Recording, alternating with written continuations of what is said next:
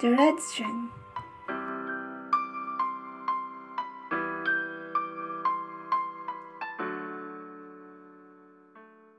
They were bound by an unknown force, connected by an invisible string. Their hearts that flow the string, that intertwines with themselves. The string could get tangled, however, could not be destroyed.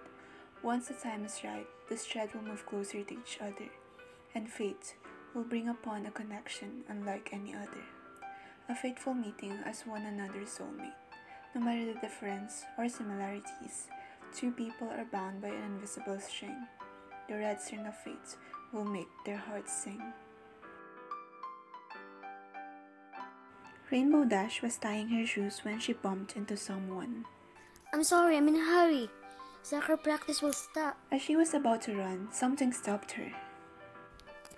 I'm in a hurry, so can you please let go of me? Thanks. She started running once again, only to be stopped for the second time. Okay, so I did not know bumping into you would make such a big deal. So can you please? She turned back to face the person she just bumped into, dumbfounded by what she saw.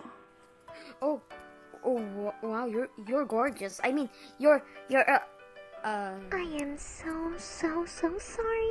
Um, you see, the thread in my sweater kinda got stuck on your earring.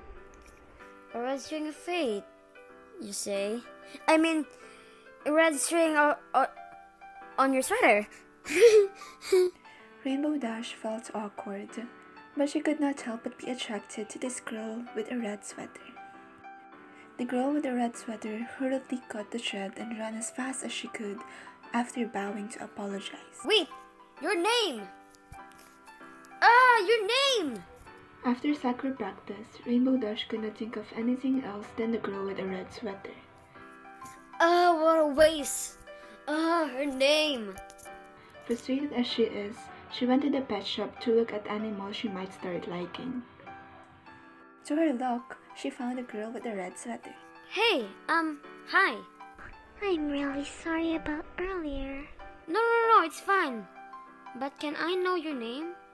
My name is Fluttershy.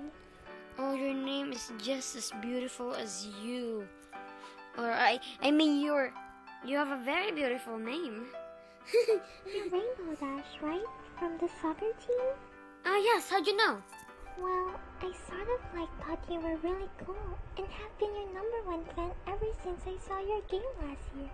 Um, so yeah, I'm, I'm sorry. I was being too talkative. Rainbow Dash was ecstatic. Well, no one could blame her. The one she's attracted to is attracted to her as well. No, that, no, that's nice. I'm happy to hear that. Um, would you like to go grab a coffee or hang out sometime? When, whenever you're free, of course. Oh, that would be nice. I'll be looking forward to it. That was the start of their red string of fate moving closer to each other. Everything started with the red string on Fluttershy's sweater.